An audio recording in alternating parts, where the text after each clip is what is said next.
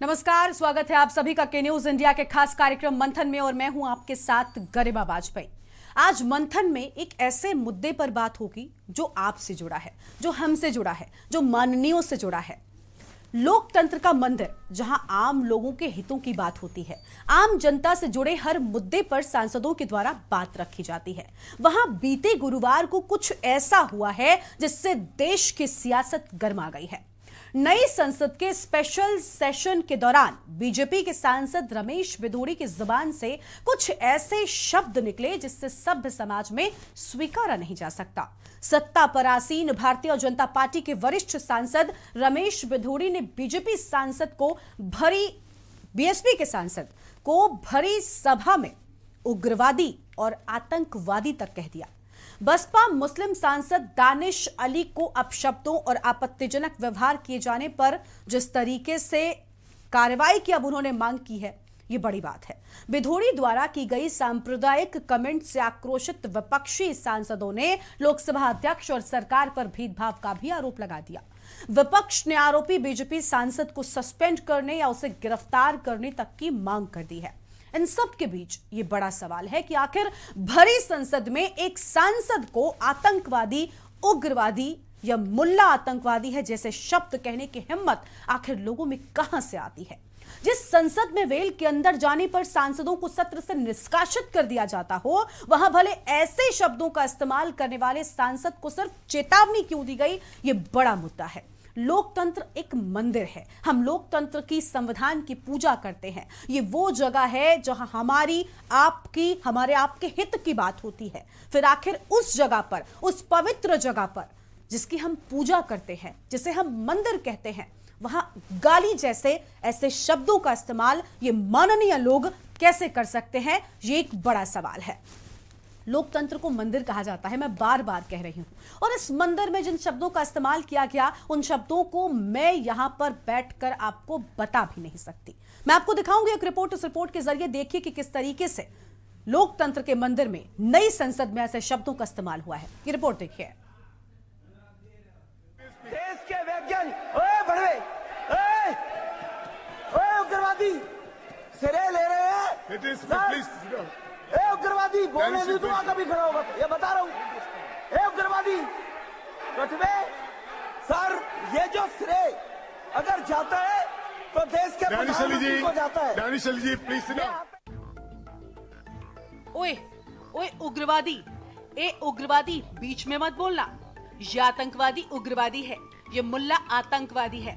इसकी बात नोट करते रहना अभी बाहर देख लूँगा इस मुल्ले को। ये शब्द केंद्र की सत्ता पर आसीन भारतीय जनता पार्टी के वरिष्ठ सांसद रमेश बिधूड़ी के हैं। श्रीमान जी संसद में दक्षिण दिल्ली का प्रतिनिधित्व करते हैं। जिस तरह के सड़क छाप शब्दों का उन्होंने लोकसभा में इस्तेमाल किया और उसे सुनकर पूर्व केंद्रीय मंत्री हर्षवर्धन ने मुस्कान बिखेरी, ये तस्वीर देश को शर्मसार करने वाली है। बीजेपी समर्थक ने तो चुप्पी साध रखी है। लेकिन विपक्ष के कई नेताओं और आम लोगों ने एक सांसद के मुँह से ऐसे अपशब्द सुनकर अपना माथा पकड़ लिया है। प्रधानमंत्री नरेंद्र मोदी और भाजपा के ज़्यादातर नेता बात बात पर जिस लोकतंत्र के मंदिर की बात करते हैं, वहीं पर उन्हीं के एक सांसद किस तरह के शब्दों का इस्तेमाल कर रहे थे, ये सोचने वाली बात है। देश के वैज्ञानिक उग्रवादी सिरे ले रहे हैं। सर. ए उग्रवादी बोलने नहीं दूँगा please. कभी खड़ा होगा। ये बता रहा हूँ। ए उग्रवादी कटवे सर ये जो श्रेय अगर जाता है तो देश के प्रधानमंत्री को जाता है। Ji, please sit ये आतंकवादी है उग्रवादी है। ये मुल्ला आतंकवादी है। बिधूरी सर अभी मैं बताना चाहता हूँ। अधीर रंजन जी अधीर रंजन जी अभी शोर मचा रहे थे पढ़ रहे थे। उस. लिस्ट में अधीर रंजन जी जब लिस्ट down. रहे थे उन्नीस सौ पिछहत्तर से लेकर अभी तक। इसकी बात थी बाहर देखो इस any- राज्यसभा सांसद प्रियंका चतुर्वेदी ने विधूड़ी के संबोधन का एक हिस्सा शेयर करते हुए लिखा कोई शर्म नहीं बची है। बाद में राजनाथ सिंह को खेत जताना पड़ा। कांग्रेस और आप ने ट्वीट कर प्रधानमंत्री मोदी पर निशाना साधा है। कि अमरोहा के लोकसभा सांसद दानिश अली को भाजपा के रमेश विधूड़ी ने कटवा उग्रवादी, आतंकवादी जैसे शब्दों का जो लोकसभा में शब्द बोले नहीं जा सकते, उसका इस्तेमाल किया। मैं पूछना चाहता हूँ नरेंद्र मोदी जी से कि क्या नरेंद्र मोदी जी लोकसभा के अंदर आतंकवादियों के साथ बैठते हैं? क्या आतंकवादी लोकसभा में आ सकते हैं? जिस प्रकार से रमेश विधुड़ी ने एक लोकसभा के सांसद के लिए भाषा का इस्तेमाल किया, वो बहुत ही उससे साबित हो गया कि भारतीय जनता पार्टी लुच्चों की, गुंडों की और सड़क नेताओं की पार्टी। मुझे लगता है रमेश बिदोड़ी ने जैसे बोला, अब उनको भाजपा की सरकार केंद्र में मंत्री बना देगी। लेकिन संसद में ये दिन काला दिन था। इस तरीके की भाषा के बाद लोकसभा के स्पीकर ने उनको सिर्फ़ एक वार्निंग देके छोड़ दिया ये बहुत ही काला दिन है। हम इसकी कड़ी निंदा करते हैं। बहुजन समाज पार्टी की सांसद दानिश अली ने अपने खिलाफ बीजेपी एमपी रमेश पिधोड़ी की संसद में अमर्यादित टिप्पणी को लेकर लोकसभा स्पीकर ओम बिरला को शुक्रवार को लेटर लिखा। उन्होंने इसमें लिखा कि मामले को विशेषाधिकार समिति को भेजा जाए। इसके साथ ही बीएसपी नेता दानिश अली ने बयान पर कड़ी आपत्ति भी जताई है। क्या प्रधानमंत्री नरेंद्र मोदी जी के नए भारत की प्रयोगशाला में कैडर को यही पढ़ाया जाता है। ये हो क्या रहा है? रूह भी काँप जाती है, वो अल्फाज सुन के मैं रात भर सो नहीं पाया। दिमाग की नस फटने को तैयार थी है मेरी। जब मेरे जैसे चुने हुए व्यक्ति की स्थिति आज इस देश में यह है तो एक आम आदमी की स्थिति क्या होगी? इस सदन को भी छोड़ने पर विचार कर रहा हूँ। उन्होंने सोशल मीडिया पर लिखा क्या आरएसएस की शाखाओं और नरेंद्र मोदी जी की प्रयोगशाला में यही सिखाया जाता है। आपका कैडर जब एक चुने हुए सांसद को भरी संसद में जैसे शब्दों से अपमानित करने में कोई कसर नहीं छोड़ता तो वो आम मुसलमानों के साथ भला क्या करता होगा? ये सोच कर भी रूह काँप जाती है। संसद के अंदर दानिश अली को लेकर की गई टिप्पणी को लेकर मायावती ने भी सांसद रमेश बिधूड़ी पर हमला बोला। बहुजन समाज पार्टी के अध्यक्ष मायावती ने ट्वीट करते हुए लिखा, दिल्ली से भाजपा सांसद द्वारा बीएसपी सांसद श्री दानिश अली के खिलाफ सदन में आपत्तिजनक टिप्पणी को हालाँकि स्पीकर ने रिकॉर्ड से हटाकर उन्हें चेतावनी भी दी है। और वरिष्ठ मंत्री ने सदन में माफ़ी मांगी, लेकिन पार्टी के द्वारा इनके विरुद्ध अभी तक समुचित कार्रवाई नहीं करना दुखद और दुर्भाग्यपूर्ण है। लोकसभा अध्यक्ष ओम बिरला ने सदन में भाजपा सदस्य रमेश बिधूड़ी के आपत्तिजनक बयानों को गंभीरता से लेते हुए शुक्रवार को उन्हें भविष्य में इस तरह के विवाद पर कड़ी आपत्ति जताई है। लोकसभा अध्यक्ष ने भाजपा नेता को भविष्य में इस तरह का व्यवहार दोहराए जाने पर कड़ी कार्रवाई की चेतावनी दी है। लेकिन इन सब के बीच सवाल ये है कि लोकतंत्र के मंदिर में आखिर सड़क छाप भाषा का इस्तेमाल क्यों किया गया? एक सांसद के द्वारा संसद में दूसरे सांसद को लेकर ऐसे शब्दों के इस्तेमाल आखिर क्यों? भरी संसद में एक सांसद को आतंकवादी, उग्रवादी है, मुल्ला आतंकवादी जैसे शब्दों को कहने की हिम्मत भला कहाँ से आती है? जिस संसद में वेल के अंदर आने पर सांसदों को सत्र से निष्कासित कर दिया जाता है, वहाँ भला ऐसे शब्दों को इस्तेमाल करने वाले सांसद को सिर्फ़ चेतावनी क्यों? स्पेशल डेस्क के न्यूज़ इंडिया।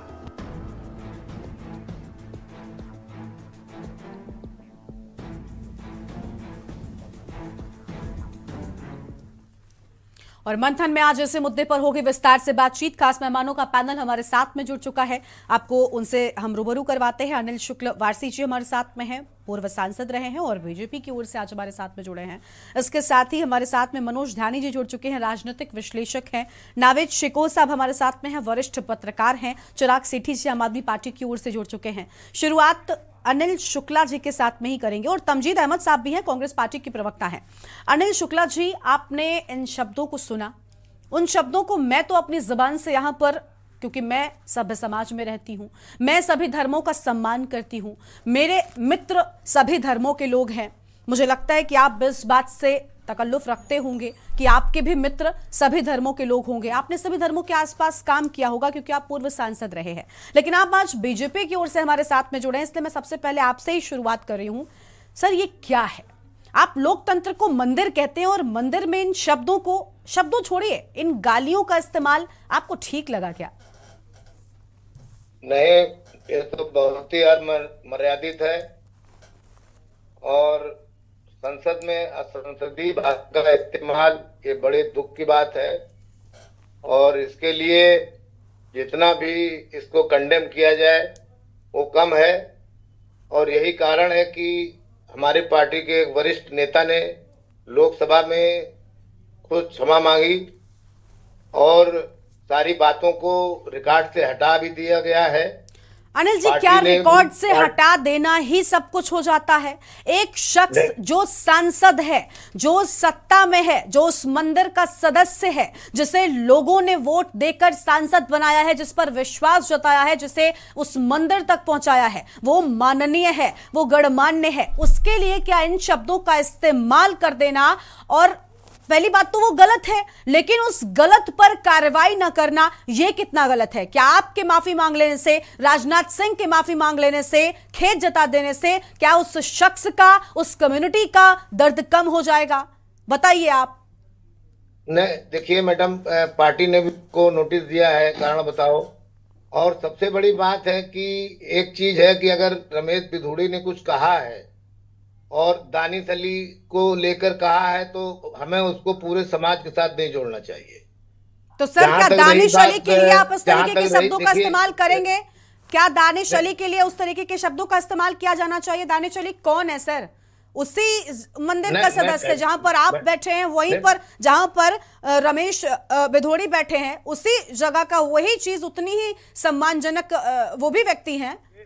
आप मेरी बात सुन लीजिए। मैंने पहले का ही अमर्यादित है। इसको पूरी तरह कंडेम करना चाहिए। हम लोग कंडेम करते भी हैं। लेकिन इसको अगर रमेश बिधूड़ी द्वारा उनको कुछ कहा गया है या उनके बीच में पहले से कहीं कोई टेंशन था तो इस तरह का जो भाषा का इस्तेमाल किया है क्या बात है सर?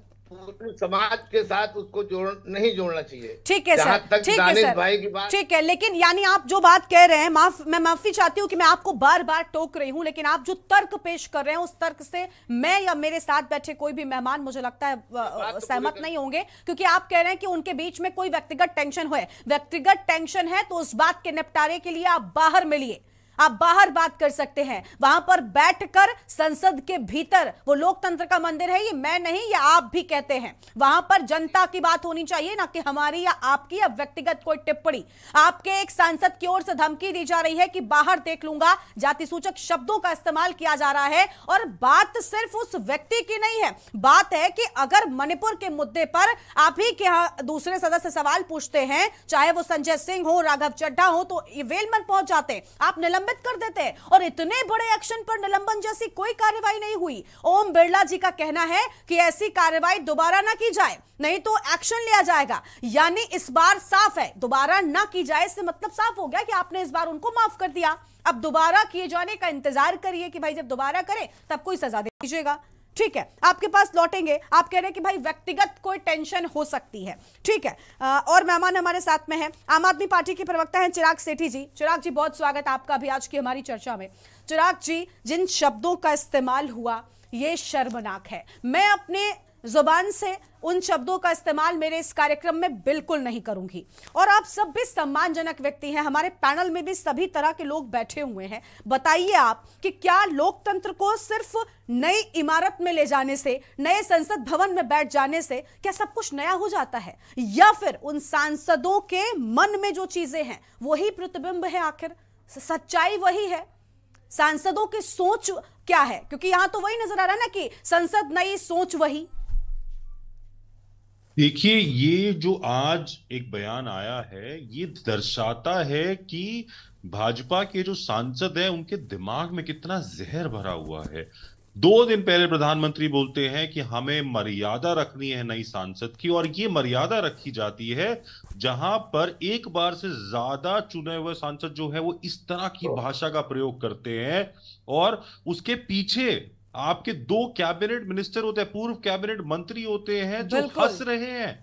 आप समझिए कितना शर्मनाक है और अब क्या एग्ज़ाम्पल सेट कर रहे हैं आगे आने वाली जनरेशन के लिए कि आप कितना गलत बोल सकते हैं लोगों को आप एक समुदाय को कैसे टारगेट कर सकते हैं और उसके बाद भी आपके ऊपर ना तो कोई स्पीकर एक्शन लेंगे ना ही आपकी पार्टी एक्शन लेगी। उल्टा हो सकता है जैसे अभी किसी ने बोला भी कि हो सकता है कि आपको प्रमोशन मिल जाए।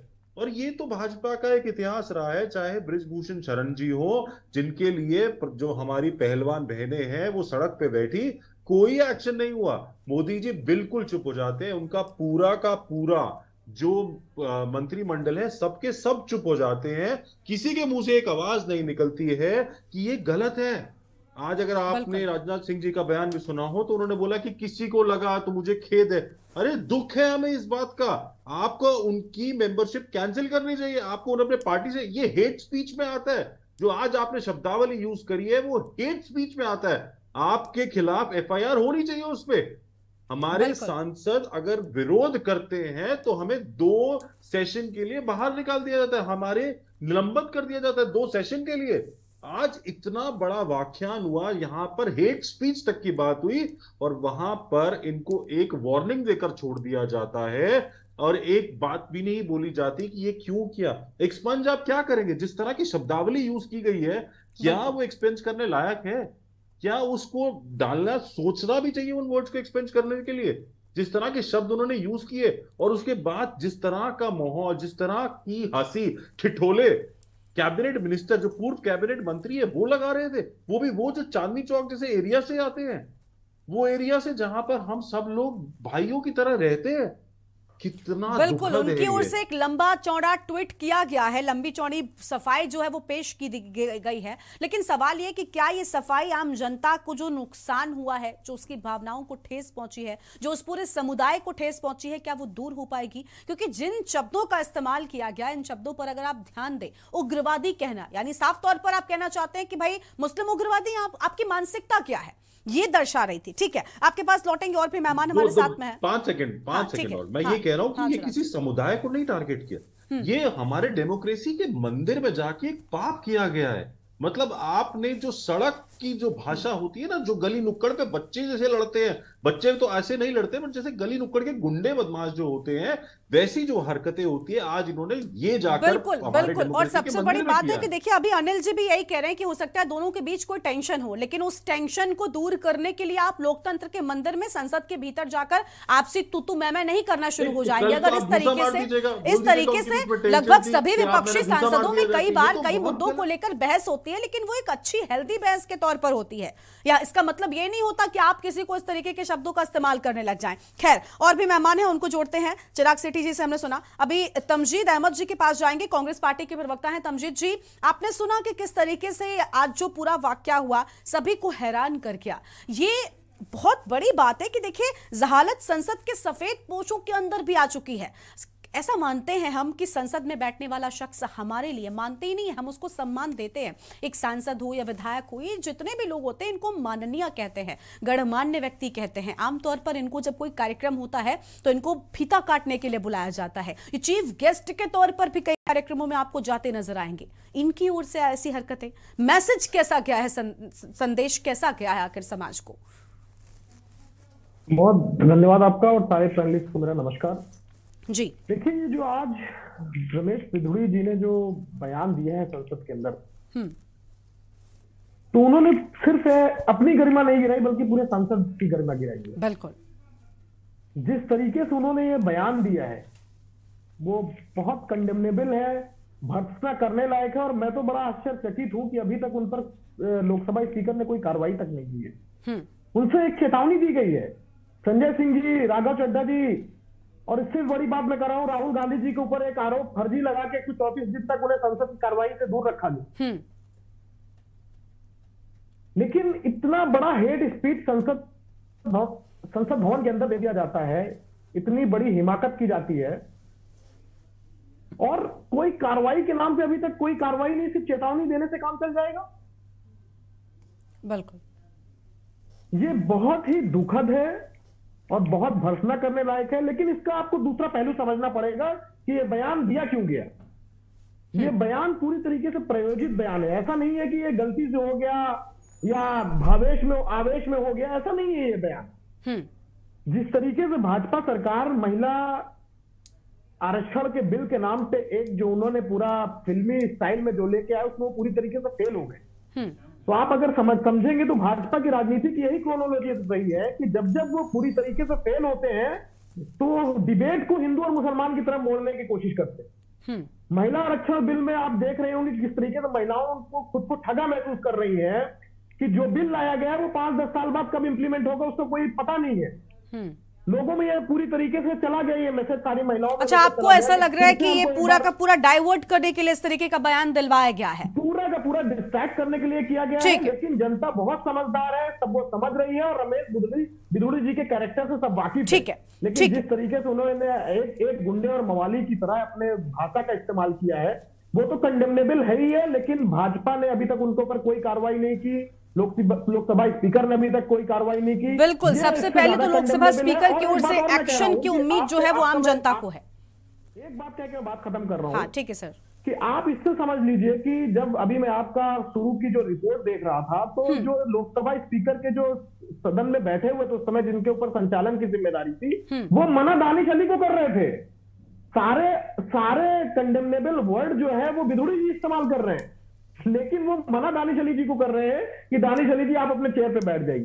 तो आप समझ सकते हैं कि किस ठीक है ठीक है सर आपके पास आते हैं आपकी आवाज़ भी कट रही है। एक कंडेमनेबल काम किया गया है ठीक है। इसको पूरी तरीके से condemn- ठीक है तमजीद जी आपके पास लौटते हैं। नावेद शिको साहब हमारे साथ में बने हुए वरिष्ठ पत्रकार हैं। नावेद जी आप राजनीतिक मुद्दों पर अच्छी जानकारी रखते हैं लेकिन इस पर मैं आपसे क्या ही सवाल पूछूँ? आपने भी देखा होगा इस तरीके की भाषा का इस्तेमाल। मतलब आम नुक्कड़ पर भी अब लोग इस तरीके की भाषा का इस्तेमाल नहीं करते हैं। और इस तरीके की भाषा का इस्तेमाल किया गया है, ये पूरी तरीके से शर्मनाक है। इसको दोहरा पाना मेरे लिए तो मुश्किल है और मुझे लगता है कि हम अपने दर्शकों को सुना रहे हैं ताकि दर्शक समझें और वोट जब देने जाएँ, उस दौरान इन चीज़ों को ध्यान रखें। और जब चुने अपना माननीय, अपना गणमान्य, उस दौरान इन चीज़ों को ध्यान रखें। और ध्यान रखें वो हर धर्म के लोग, क्योंकि जब राजनीति होती है तो धर्मों पर होती है। अभी कांग्रेस से जो प्रवक्ता है, उन्होंने कहा कि देखिए डाइवर्ट करने के लिए ऐसा बयान दिया गया। मतलब राजनीति में कुछ भी, राजनीति के लिए कुछ भी, और अगर सबसे पहले अनिल जी की बात पर जाए, अनिल जी कह रहे हैं कि भाई आपसी कुछ विवाद हो सकता है। क्या आपसी विवाद के लिए संसद बनाई गई है? और ये नई संसद है, ये विशेष सत्र है, इसकी विशेषता, क्या इस विशेषता का उत्सव मनाएँगे? क्योंकि नई संसद का खूब उत्सव मनाया जा रहा है। आप देख रहे हैं। क्या कहेंगे आप? गरिमा जी अ, मुझे लगता है कि यहाँ पर अ, किसी एक समुदाय या दानिश अली का ही मामला नहीं है। यहाँ पर पूरे देश शर्मसार हुआ है। बिल्कुल। और प्रधानमंत्री जी की छवि धूमिल हुई है। हम्म। भारतीय जनता पार्टी और एनडीए को बहुत बड़ा नुकसान हुआ है। देश की जनता आहत हुई है। आपने एक बात कही बहुत प्रभावशाली बात कही। कि नई संसद नई बिल्डिंग नए ईटों से और नई हवेली से कोई फ़र्क नहीं पड़ता। हम लोगों ने प्रधानमंत्री जी को 48 घंटे पहले सुना था और उन्होंने ये संकल्प लिया था और ये लोगों से आग्रह किया था संसद संसद सदस्यों से कि यहाँ पर हम गरिमा का ध्यान रखें और एक नई संस्था संसद में एक नई संस्कृति एक डिकोरम की अनुशासन की और भाषा की मर्यादा की ध्यान में रखें। कुछ घंटे पहले, कौन प्रधानमंत्री? वो प्रधानमंत्री जिनकी एक आवाज़ में पूरा देश उसको फॉलो करता है, उनकी हर हिदायत को फॉलो करता है। कौन प्रधानमंत्री? जब वो कहते हैं कि कोरोना के संकट के टाइम में आप घंटी बजाओ तो वो घंटी बजाने लगता है। इतनी दीवानगी उस प्रधानमंत्री की है, जनता के बीच में। क्या आप इतनी कमज़ोर प्रधानमंत्री हो गए हैं? कि अपनी पार्टी, अपनी सरकार के, उनके मंत्री, उनके सांसद भी उनकी बात मानने को तैयार नहीं है? कौन प्रधानमंत्री जो बयान दे चुके हैं जिनकी जिनके बयान को पूरी दुनिया ने बड़ा सराहाया था कि इस देश की जनता का कोई भी व्यक्ति किसी भी पिछड़े दलित अल्पसंख्यक वर्ग को अगर मारने की चेष्टा करता है तो वो आके मुझे मारे पहले। हम्म। क्योंकि कमज़ोर पिछड़ा वर्ग दलित अल्पसंख्यक वर्ग हम उसको इज़्ज़त देते हैं हम उसको ताकत देना चाहते हैं। अगर उसको कोई कमज़ोर समझ के उसको गाली देता है उसको मारने की कोशिश करता है तो पहले वो मुझे आके मारे। ये बहुत बड़ा बयान था। बिल्कुल। इस बयान के बाद उनके कैबिनेट का हिस्सा उनके सामने उस संसद में जिस संसद की पवित्रता के कुछ घंटे पहले हम लोगों ने आ, सुना था कि उसका संकल्प लिया गया था। वो संसद जो लोकतंत्र का मंदिर है हम सब उत्साह में थे। हम एक त्योहार की तरह इस जश्न को मना रहे थे कि हमारे देश को एक खूबसूरत, एक भव्य संसद मिली है। वो संसद जहाँ देश के अच्छे फैसले होंगे, जहाँ हमारे जनप्रतिनिधि हमारे जनहित की बातें करेंगे, जहाँ जनप्रतिनिधि हमारे हित के कानून बनाएँगे। उस संसद में 48 घंटे भी नहीं हुए और गालम गलौज शुरू हो गया। क्या सरकार का वकार इतना कमज़ोर हो गया है? वो सरकार जिसकी जो एक बड़े बहुमत से जीती दूसरी बात इलेक्शन होने वाला है। सांसद और योगी सरकार के जुड़े हुए लोग ताकतवर लोग संसद में इस तरह का दुस्साहस कर रहे हैं। बात की सिर्फ़ दानिश अली की नहीं है ये एक समुदाय की बात नहीं है। बात इस बात की है कि भारतीय जनता पार्टी को ये विशेष सत्र राशि नहीं आ रहा है। विशेष सत्र किसी विशेष परिस्थितियों में बुलाया जाता है।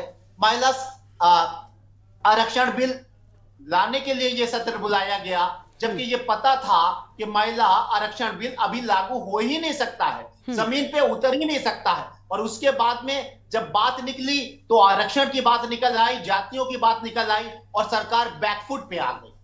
उसका मुकाबला कर ही रही थी सरकार मोदी सरकार कि उन्हीं के एक ताकतवर सांसद ने ऐसा गलम गलौज कर दिया कि सरकार अब पशेमान है। नरेंद्र मोदी जी पशेमान है वो अपने बचाव के लिए आ, सारे जितने भी बयान आ रहे हैं कहीं ना कहीं लग रहा है कि सरकार इस बात को लेकर बैकफुट पे आ चुकी है। सरकार को ये लग रहा है कि कहीं ऐसा तो नहीं है कि इलेक्शन की बेला में कोई बड़ी साजिश की गई है। कहीं ऐसा तो नहीं है कि हमारे सांसद को कहीं बड़ी एक मोटी रकम देकर या बड़ा प्रलोभन देकर सरकार को बदनाम करने के लिए कोई साजिश तो नहीं रची गई नहीं, है। लेकिन जिस तमाम बातें हाँ। आ रही है और इस बात में कोई शक नहीं है कि सरकार बैकफुट पर एक बयान के ऊपर आ गई। क्योंकि जनता, चाहे वो भारतीय जनता पार्टी का समर्थन करने वाली हो या विरोधी हो, देश की जनता इसको स्वीकार नहीं कर रही। बिल्कुल किसी भी कीमत पर किसी भी कीमत तो पर भाजपा का ये बहुत बड़ा घाटा है। बिल्कुल किसी भी कीमत पर ऐसी चीज़ें स्वीकार नहीं है। वो किसी भी धर्म को लेकर की जाए किसी भी व्यक्ति को लेकर की जाए और कम से कम ऐसी जगहों की मर्यादा ऐसी जगहों की गरिमा को बनाए रखिए जहाँ पर जिसकी हम पूजा करते हैं संविधान मानता है और लोकतंत्र को आपने मंदिर कहा है और उसी मंदिर में जाकर आप इस तरीके की गालियाँ उसी सदस्य को दे रहे हैं जिसे जनता ने चुना है। और मैं तो ये मानती हूँ कि ये अपमान सिर्फ़ उन लोगों का नहीं है जिन्होंने दानिश अली को सांसद बनाया है। बल्कि अपमान उस जनता का भी है जिन्होंने रमेश बिधोड़े को सांसद बनाया है। क्योंकि आपका सांसद, आपका चुना हुआ एक व्यक्ति ऐसी भाषा का इस्तेमाल करता है। हो सकता है उनके संसदीय क्षेत्र से लोग हों जो मुस्लिम मित्र जिनके हो। क्या उन्हें ठेस नहीं पहुँची होगी? क्या उस शख्स को आज ठेस नहीं पहुँची होगी जो भी मुस्लिम है? क्योंकि जिस तरीके के शब्दों का इस्तेमाल किया गया आप सबने सुना है। मुझे लगता है उनको दोहराने की अब ज़रूरत नहीं है। खैर, लेकिन बड़ा सवाल, देखिए, पार्टी लाइन के लिहाज से आपने नावेद जी कई सारी बातें कही। मनोज ध्यानी जी के पास हम जाएँगे, वो राजनीतिक विश्लेषक हैं, राजनीति के लिहाज से उनसे बात करते हैं। मनोज ध्यानी जी की बात को सुनते हैं, लेकिन उससे पहले मंथन में एक छोटे से ब्रेक के लिए रुक रहे हैं। कहीं मत जाएगा ब्रेक के बाद हमारी ये चर्चा जारी रहेगी। हम बात करेंगे कि आखिर क्यों ऐसे शब्दों पर सख्त से सख्त कार्रवाई नहीं हुई? आखिर क्यों ऐसे शब्दों पर सख्त एक्शन नहीं लिया? चाहे वो लोकसभा के अध्यक्ष हो या पार्टी लाइन की ओर से हो। अब सफ़ाई देनी पड़ रही है। उन लोगों को जिन लोगों ने इस पूरे वाक्य पर मुस्कुराहटें दिखाई थी, लेकिन सवाल कि क्या ऐसे मामलों पर आपको मुस्कुराना चाहिए? सवाल कि क्या ऐसे शब्दों का इस्तेमाल आपको कभी भी करना चाहिए? अरे, संसद तो बहुत बड़ी चीज़ है। हम संसद को मंदिर मानते हैं। लोकतंत्र की हम पूजा करते हैं, संविधान को हम पूछते हैं और वहाँ पर बैठकर आप इस तरीके की चीज़ों का इस्तेमाल करेंगे तो देश आपको कभी भी माफ़ नहीं करेगा। हम बात कर रहे हैं उस बयान की जिसने देश भर में हाहाकार मचा दिया है। वो बयान जो शर्मनाक है, जिसकी हम निंदा करते हैं, जिसकी देश निंदा कर रहा है। इसी पर बात करने के लिए हमारे साथ में लगातार खास मेहमानों का पैनल बना हुआ है। मनोज ड्यानी जी के साथ में हम शुरुआत करेंगे। राजनीतिक विश्लेषक है। मनोज जी, एक बयान सामने आया है। बीजेपी से सांसद सांसद हैं रमेश बिधूड़ी जी, जिन्होंने साफ़ तौर पर दानिश अली के लिए किस तरीके के शब्दों का इस्तेमाल किया। दानिश अली खुद सांसद हैं अमरोहा से बीएसपी के। अब ऐसे में सवाल उठता है कि देखिए, राजनीतिक लिहाज से नावेश शिको साहब ने जो बातें कही, ये बहुत अहम है कि चुनाव के लिहाज से एक बड़ा नुकसान भारतीय जनता पार्टी के लिए हो सकता है। लेकिन ये पार्टियों के एंगल से बात हो गई। बात है कि आखिर जो अध्यक्ष जी हैं, उनकी ओर से एक्शन क्यों नहीं लिया गया? क्यों उन्हें यह कहकर बोल दिया गया कि दोबारा ऐसी गलती ना हो? क्या इस बार, क्या पहली बार में माफ़ी मिल सकती है ऐसी चीज़ के लिए? क्या इस जघन्य बयान के लिए? क्या ऐसे शब्दों के लिए माफ़ी काफ़ी है? बताइए आप। अनम्यूट कीजिए अनम्यूट कीजिए मनोज जी।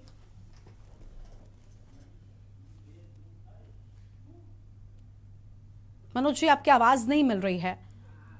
आ, भारत की जो संसद है भारत की संसद भारत के लोगों का लोकतंत्र का प्रतिनिधित्व करता है।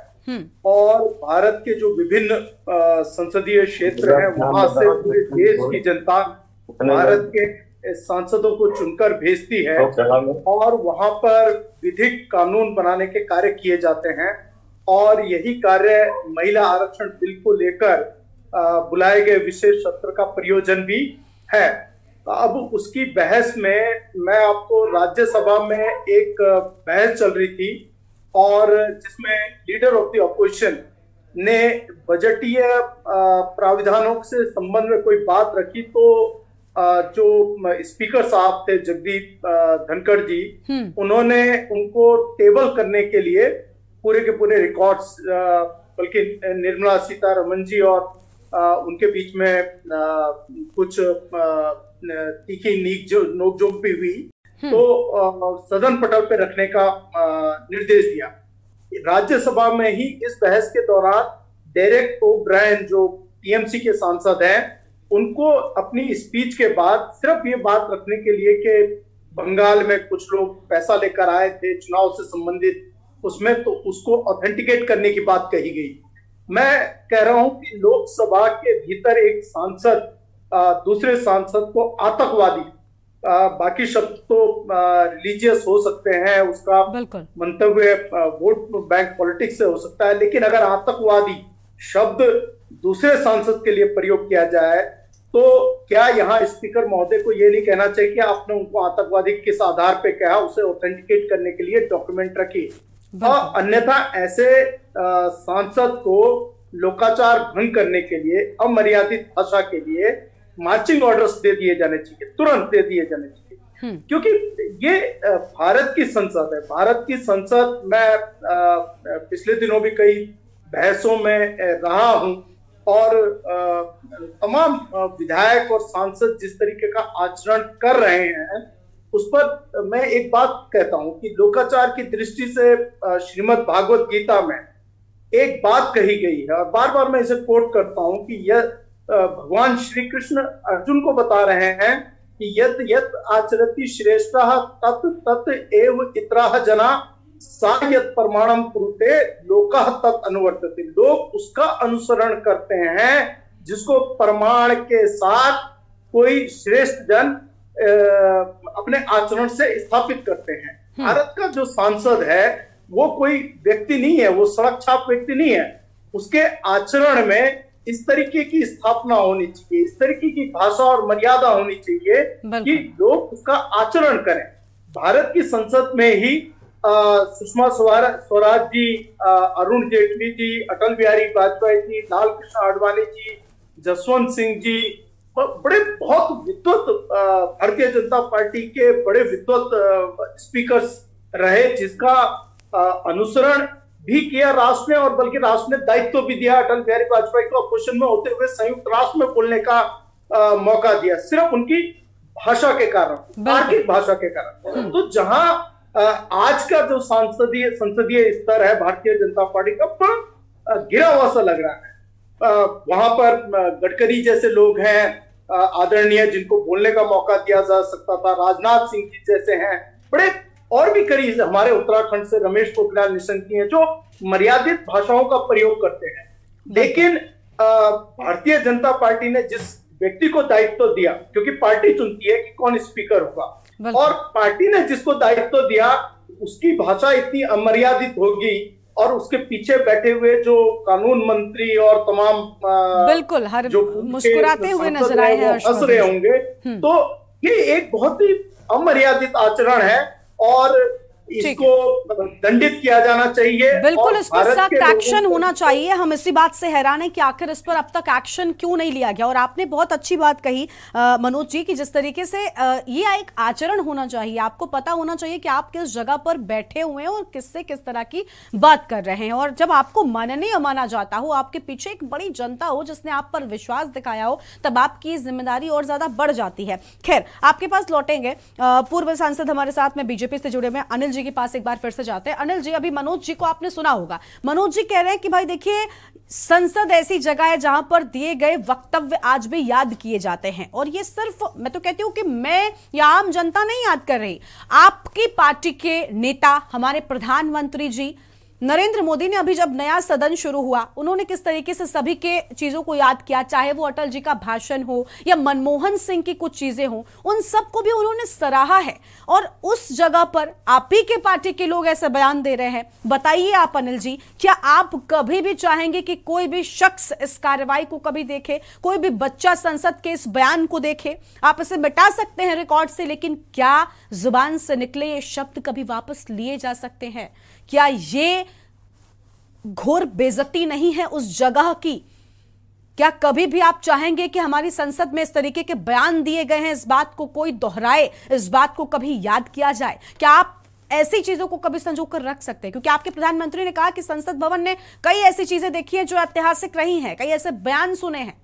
एक तरफ़ आपके प्रधानमंत्री, हमारे प्रधानमंत्री तारीफ़ करते हैं, विपक्षियों से भी वो नाम जोड़ते हैं। ऐसा कि अपने ही सभी दलों के लोगों को उन्होंने सराहा। मनमोहन सिंह का उन्होंने नाम लिया। और ऐसे मौके पर नई संसद, नया विशेष सत्र, उत्सव मना रहे हैं आप महिला आरक्षण का। दूसरी ओर ऐसे शब्दों का इस्तेमाल। कैसे बचाव करिएगा सर आप? कौन से शब्द हैं आपके पास बचाव के लिए? आप कह लीजिए। अनम्यूट कीजिए। अनिल जी को अनम्यूट कीजिए। तो फिर मैं बोलूँ? हाँ जी बोलिए। हाँ थोड़ा सा समय दे दीजिएगा। बिल्कुल बिल्कुल मैं कहना चाहता हूँ कि देखिए जो कुछ भी हुआ वो बहुत ही अमर्यादित था। उसको हाईली इट इज़ कंडेमेबल और कहीं भी से वो उसको सही नहीं कहा सकता है। लेकिन जहाँ तक बात रही कार्रवाई की हम्म। तो मैं कहना चाहता हूँ कि तुरंत उस पर हमारे वरिष्ठ नेता ने माननीय राजनाथ जी खेत प्रकट किया। और उसको हमारे जो है क्या नाम स्पीकर ने उनको चेतावनी भी दी और साथ साथ पार्टी ने भी उनको सो काज नोटिस दिया है। ऐसा नहीं कि तुरंत कार्रवाई नहीं की। नहीं बिल्कुल आपकी लेकिन मैं इसके साथ ये भी कहना चाह मैं एक मिनट में सुन लीजिए। इसके साथ मैं ये भी कहना चाहता हूँ हाँ। कि ऐसे लोग ऐसे लोगों को जिनको ये बातें खराब लग रही हम भी कह रहे हैं बहुत ही खराब है हम्म। लेकिन अगर कोई प्रधानमंत्री को कहता है कि ये मौत का सौदागर है उसको भी तो अच्छा नहीं कहा जा सकता है। ठीक है अगर जो है राहुल गांधी जैसे वरिष्ठ नेता पार्लियामेंट में भाषण के बाद आँख मारते हैं तो वो भी जो है संसदीय तो नहीं हो सकता है। या फिर आपकी जो है क्या नाम महुआ मोत्रा जिस तरीके से उन्होंने संसद में गालियों का प्रयोग किया उसको भी तो सही नहीं कहा जा सकता है। हमारा कहने का मतलब ये है कि अब जब इस तरह की बातें आप करते हैं आप एग्रेसिव लोगों को एग्रेशन में डालते हैं हम्म। तो मैं कोई वो भी तो सही नहीं है। हम ये मानते हैं कि उन्होंने गलती किया है। लेकिन उस स्थिति में लाने के लिए जो लोग बार बार इस तरह की बातें करते हैं मैं समझता हूँ कि उन, उनको भी इस तरह की बातें नहीं करना चाहिए। ठीक है पार्लियामेंट के अंदर संसदीय भाषा का प्रयोग करना चाहिए सबके लिए होना चाहिए। और कार्रवाई अगर कोई भी गलत काम करता है तो चाहिए और जो भी उचित कार्रवाई हो उसमें हमारा कोई मैं उनका फेवर नहीं कर रहा हूँ। ठीक है, मैं आपकी बात से सहमत हूँ क्या आप उनकी चीज़ का फेवर नहीं कर रहे आपने मेरे पहले सवाल के जवाब में भी इन्हीं शब्दों को लगभग कहा था। आपका इस बार भी वही जवाब सामने आया है। लेकिन अनिल जी, देखिए, बात यह है कि किसी को आप कुछ कह दीजिए। उसके बाद कहिए मैंने माफ़ी मांग ली। क्या हर बार माफ़ी काफ़ी होती है? सवाल यह है ना कि क्या माफ़ी काफ़ी है? और उस जगह पर जहाँ पर सख्त सजा पहले दी जा चुकी है, मणिपुर का सत्र था, विशेष सत्र था, ऐतिहासिक सत्र था। उस सत्र में संजय सिंह को पूरे संसद, पूरे सत्र के लिए निलंबित कर दिया आपने। क्या लोकसभा स्पीकर को और हम अगर हम अगर सख्त एक्शन की बात कह रहे हैं स्पीकर की ओर से तो उस बात पर मुझे लगता है कि आपको भी हमारे साथ खड़े होना चाहिए। ऐसा नहीं है क्योंकि अगर आप उस बात को गलत मानते हैं संजय सिंह के बयानों को मर्यादित बयान तो कभी कहा नहीं जाता मैं नहीं कह रही हूँ मैं नहीं कह रही हूँ। मैंने क्या कहा? मैंने क्या कहा? मैं नहीं कह रही हूँ। मैंने क्या तो ठीक है चिराग जी चिराग जी मैं मैं बोल चिराग जी चिराग जी मैं आऊँगी आपके पास। देखिए मैंने नहीं कहा आपने राहुल गांधी की बात कही ठीक है। सर पहले सुनिए आपने राहुल गांधी की बात कही ठीक है आप उनके व्यवहार को लेकर जो एक्शन लिया जाना है लीजिए। लेकिन क्या कोई गलत कर रहा है तो आप भी गलत करने लग जाएँगे। आप कह रहे हैं कि उकसाने वाले बहुत होते हैं। आपके प्रधानमंत्री जी के भाषण में सुनती हूँ। वो तो कभी इस तरीके की भाषा का इस्तेमाल नहीं करते जबकि प्रधानमंत्री के लिए विपक्षी क्या कुछ नहीं कहते। कि इसको आप इसको आप जो है पूरी तरीके से सारे लोगों या किसी समाज के साथ नहीं जोड़ सकते हैं। क्यों नहीं जोड़ सकते सर? क्यों नहीं जोड़ सकते? जो शब्द तो आपने बोले हैं ये ये उग्रवादी है ये आतंकवादी है? यानी मुस्लिम उग्रवादी हो गए लोग बैठे उनके साथ जोड़ के क्यों नहीं तो दानिश अली के लिए ऐसे शब्दों का इस्तेमाल दानिश अली अगर अगर आपने आतंकवादी कहा नहीं नहीं बिल्कुल नहीं। और जाति सूचक शब्द जो शब्द अच्छा आपने कहा मैं माफ़ी चाहती हूँ मैं यहाँ पर नहीं बोल सकती। आप लेकिन समझिए मैंने बयान सुनाए हैं जो शब्द कहा वो शब्द किसके लिए इस्तेमाल कर रहे हैं आप? किसके लिए? वो पूरी कम्युनिटी पर लागू हो जाता है। वो पूरी कम्युनिटी पर लागू हो जाता है। क्यों नहीं लागू होता? आतंकवादी कहा? आप उसका आप उसका बेस बताइए। अभी मनोज जी ने कहा ना कि आप प्रॉपर वहाँ पर चीज़ें बताइए क्या आप किस बेस पर आतंकवादी कह रहे हैं किसी शख्स को? ठीक है लौटते हैं आपके पास। आपके पास कोई तर्क नहीं है आज। आप क्या कहेंगे? नावेद जी कुछ कहना चाह रहे हैं बीच में। नावेद जी। आ, मैं ये कहना चाह रहा हूँ मैं याद दिलाना चाह रहा हूँ एक ऐतिहासिक घटना को दृष्टराष्ट्र के आ, सभा में दुशासन ने द्रौपदी का चीर हरण किया था।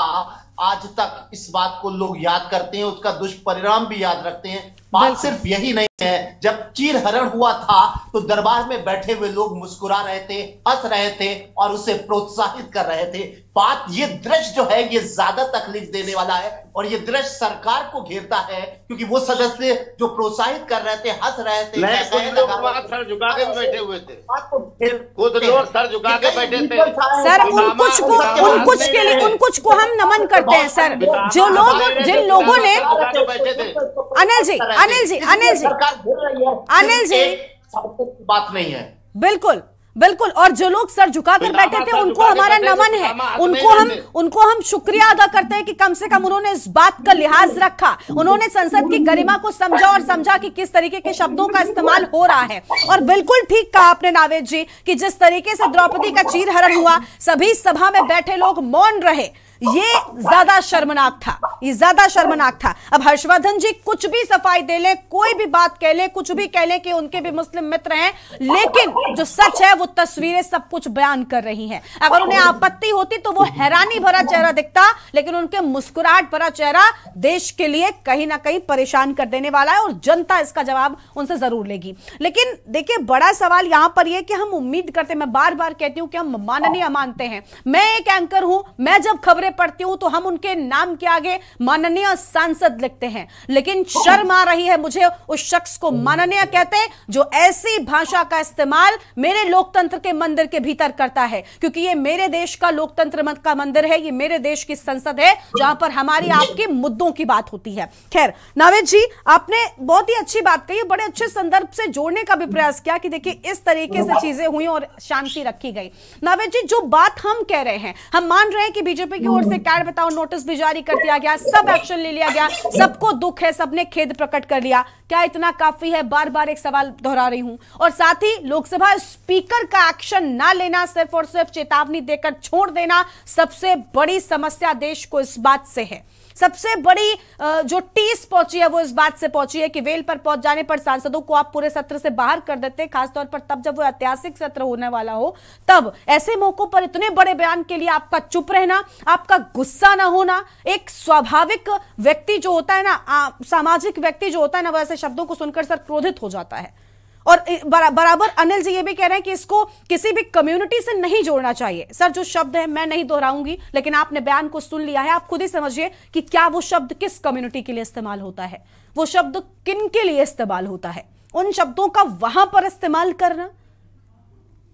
बिल्कुल सही है कि भारतीय जनता पार्टी के साथी हमारे मित्र जो है बात को स्वीकार कर रहे हैं कि ये बड़ी चूक हुई है बड़ी गलती हुई है ये बड़ा दुस्साहस हुआ लेकिन मैं एक बात याद दिलाना चाहता हूँ आ, पिछला जो एक साल गुजरा है इसका जो पॉलिटिकल पॉइंट रहा है पॉलिटिकल जो मुद्दे रहे हैं उसमें एक कॉमन मुद्दा रहा है और इसके सियासत हेट स्पीच अपशब्द बोलने को लेकर भारत के कई बड़े नेताओं की सदस्यता गई है। यहाँ तक राहुल गांधी भी आ, काफ़ी दिनों तक सं, संसद के सदस्य नहीं रहे। एमपी एमएलए कोर्ट की उनकी आ, आ, आ, फैसले के बाद में उनकी सदस्यता चली गई थी। आज़म खान की सदस्यता चली गई। इस तरह तमाम नेता ऐसे हैं पिछले साल में एक रिकॉर्ड है हेट स्पीच को लेकर अपशब्दों को लेकर नफरत फैलाने को लेकर नेताओं बड़े बड़े नेताओं का सफाया साइड लाइन बिल्कुल हम कह सकते हैं ना कि पूरा का पूरा राजनीतिक करियर तबाह हो गया। हम लोग इस बात को हम मतलब हमारा देश जो है इस बात को बड़ा पसंद कर रहा था कि भारतीय जनता पार्टी योगी मोदी सरकार जो है ये बड़ा अच्छा फैसला हो रहा है कि कम से कम इससे ये रहेगा कि हेट स्पीच जो है राजनीति में या सदन में किसी ये कम होगी और इसका सिलसिला खत्म होगा। और अगर ये कम होगी तो कम से कम जनहित की बात होगी विकास की बात होगी। जी। नावेद जी नावेद जी आज इसको जो है क्या नाम महुआ मोहित्रा भी जो इसको कंडेम कर रही है। क्या महुआ मोहित्रा को ये राइट बनता कि इसको कंडेम करें? जो खुद जो है क्या नाम संसद में असंसदीय भाषा का प्रयोग किया। क्या बात? अगर अनिल जी अनिल जी आप उनके विरुद्ध भी उनके विरुद्ध बिल्कुल और सबसे बड़ी बात है कि अगर कोई शख्स गलती कर रहा है तो आप सर क्या गलती को दोहराने लग जाएँगे? आपको जनता ने आप पर विश्वास दिखाकर आपको सत्ता में लेकर आई है ताकि आप इन गलतियों को सुधारें। आप जो गलती कर रहे हैं उनको सजा दीजिए। और आप ये कहकर बच नहीं सकते कि भाई उन्होंने कहा था तो हमने कह दिया तो कौन सी बड़ी बात हो गई? ये कहना क्या ठीक है आपका? ठीक है। करने का कोई मॉरल नहीं बनता है। ठीक है ठीक है। नहीं सर ऐसा कुछ नहीं है ऐसा कुछ नहीं है। ऐसा कुछ नहीं है। जिसने जो गलती की है उसको उस गलती की सजा मिलनी चाहिए। ठीक है और मेहमान एक अभी भी हमारे साथ में जुड़े हैं। विजय शंकर नायक जी हैं अम्बेडकरवादी है। विजय शंकर जी बहुत स्वागत आपका आज की हमारी चर्चा में। विजय शंकर जी आपने बयान सुना ही होगा। जिस तरीके का बयान दिया गया यह देश भर में चर्चा का विषय बन गया है। राजनीतिक लिहाज से भले ही ये अब राजनीतिक बदलाव लेकर आए, समीकरणों को तोड़ मरोड़ दे, बदलाव कर दे, लेकिन देश की जनता को आहत हुआ है। देश की जनता को चोट पहुँची है, क्योंकि देश की जनता हर धर्म का सम्मान करती है। अगर आप देखेंगे तो राजनीतिक पार्टियों की ओर से फूट डालने की हर बार कोशिश की गई है ताकि उनकी उस आग में राजनीतिक रोटियाँ सिक सके। लेकिन आम जनता में अभी भी इस तरीके से भेदभाव नहीं आया है। आम जनता अभी भी चाय की दुकान पर जब चाय पीती तो वो ये नहीं देखती कि ये किसकी दुकान है। आम जनता अभी भी भाईचारे पर चलती है और जो बयान दिया गया जिस तरीके से एक सांसद को एक सांसद के द्वारा उग्रवादी कहा गया आतंकवादी कहा गया और जो शब्द आगे के कहे गए आप जानते ही होंगे आपने सुना होगा आज खूब चर्चा में है। कैसे देख रहे हैं आप इसको? विजय शंकर जी? मेरा स्पष्ट मानना है हम्म। कि भारतीय जनता पार्टी जब से सत्ता में आई है हाँ। तब से देश का माहौल पूर्ण रूप से बिगड़ा है। जो भारत कभी हिंदू, मुस्लिम, सिख, ईसाई सभी है, भाई भाई का जो हम लोग नारा लगाया करते थे, उस नारा में भारतीय जनता पार्टी ने आज सांप्रदायिकीकरण करने का काम किया है, जिसका ही नतीजा है कि आज जो अल्पसंख्यक वर्ग के लोग हैं, आज उनसे डरे हुए हैं। वो कभी भी हेट स्पीच दे सकते हैं और एक संसद की गरिमा भी गिरी है जो संसद में चौदह से पूर्व जो एक माहौल बनता था संसद की एक गरिमा रहती थी हम्म। वो गरिमा गिरी है और भारतीय जनता पार्टी हर एक समय वोट की राजनीति और वोट का ध्रुवीकरण कैसे हो इस पर ज़्यादा ध्यान देने का काम करने का काम अभी तक की है जिसका ही परिणाम है कि आज संसद की गरिमा को इन्होंने ठेस पहुँचाया संसद के अंदर एक चुनी चुने हुए सांसद को इन्होंने आतंकवादी बोलने का काम किया। ये बहुत ही शर्म का विषय है और भारतीय जनता पार्टी के लोगों को चुल्लू भर पानी में डूब कर मरना चाहिए। ठीक है ठीक है, सर, आपके पास लौटेंगे, मनोज ध्यानी जी के पास जाएँगे। ध्यानी जी, हमने ये चर्चा इसलिए रखी ताकि हम ये समझ सके कि आखिर ऐसे शब्दों का इस्तेमाल क्यों किया जा रहा है। क्यों हमारी भाषा शैली इस हद तक बिगड़ चुकी है कि हम जगह तक का ध्यान नहीं रखते? और खासतौर पर वो लोग जो माननीय है, मैं बार बार कहती हूँ कि ऐसे लोगों का हम सम्मान करते हैं। समाज में सामाजिक व्यक्ति कहलाते हैं, सम्मानित व्यक्ति होते हैं। अब देखिए हमने ये चर्चा रखी और हम ये चाहते हैं कि उस शख्स पर सख्त से सख्त एक्शन हो। आपको लगता है कि इस बात में, हमारे इस मांग में या देश के इस मांग में बीजेपी को भी बराबर साथ देना चाहिए, ताकि ये जो मैसेज उनका गया है ना, पहली बात तो जो नुकसान बीजेपी को पहुँचा है वो तभी पूरा हो सकता है जब उतना ही सख्त एक्शन, जितना दूसरे पार्टी के लोगों पर हुआ है, उतना ही सख्त एक्शन इस शख्स पर भी होगा जिसने लोकतंत्र की मर्यादा को तार तार कर दिया, संसद की मर्यादा को तार तार किया है। देखिए भारतीय जनता पार्टी जिस राजनीति का प्रतिनिधित्व करती है उसमें बार बार हिंदुत्व की बात करती है प्रभु राम जी का स्मरण करने का बात करती है। अब मैं आपको बताऊँ कि प्रभु राम जी पुरुषोत्तम थे मतलब पुरुषों में सबसे उत्तम जो व्यक्ति है वो प्रभु राम जी। बिल्कुल। अगर उनकी संस्कृति और उनकी विरासत की बात करेंगे तो उसमें सभ्यता सौम्यता बहुत ही शिष्टाचार गुरुओं के प्रति आदर सबके प्रति प्रेम भाव और करुणा दिखेगी आपको। वीरता हम्म। का रस भी उसमें मिलेगा। और त्याग की भावना सबसे बड़ी उनके उनके आचरण में मिलेगी। उनके जो दूत जब रावण के दरबार में गए चाहे अंगद जी गए चाहे हनुमान जी गए हनुमान जी तो खैर दूत के रूप में नहीं गए थे लेकिन अंगद जी भी अंश हम देखें तो, तो सभी जगहों पर मर्यादा देखें। उन्होंने उन्होंने बहुत मर्यादित आचरण स्थापित किया। बिल्कुल। कम से कम अगर आप सांस्कृतिक मूल्यों की बात करते हैं तो आपकी संस्कृति झलकनी चाहिए। ये तो कुसंस्कृति है। हम्म। और जो जिस तरीके की भाषा का प्रयोग है सम्मान करना चाहिए शत्रु तक का सम्मान किया जाना चाहिए ऐसा भारतीय सेना के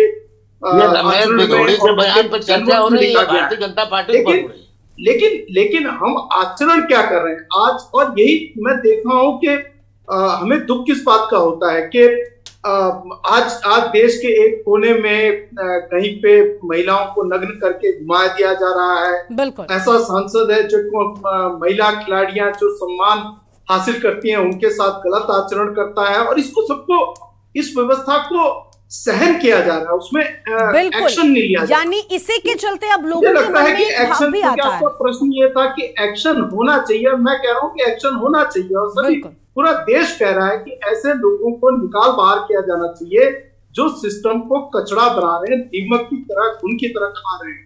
ये देश भारत है और भारत की अगर हम बात करें तो भारत को बहुत महान स्वरूप प्रदान किया जाना चाहिए। और भारत देश को संस्कृतिक सबसे बड़ी बात, भारत देश को सांस्कृतिक देश माना जाता है। भारत अपनी संस्कृति के लिए जाना जाता है, अपनी बोलचाल की भाषा के लिए जाना जाता है। और ऐसा माना जाता है कि यहाँ के लोग इस तरीके की चीज़ों का इस्तेमाल नहीं करते हैं। और ऐसे मौके पर, ऐसी जगह पर अगर ऐसी भाषा का इस्तेमाल होगा, ऐसे शब्दों का इस्तेमाल होगा तो देश इसे कतई बर्दाश्त नहीं करेगा। आप सभी मेहमानों का बहुत बहुत शुक्रिया आज की हमारी चर्चा में आने के लिए, अपनी बात रखने के लिए। तो मंथन में आज हम बात कर रहे थे कि आखिर लोकतंत्र के मंदिर में ऐसी भाषा का इस्तेमाल क्यों किया गया?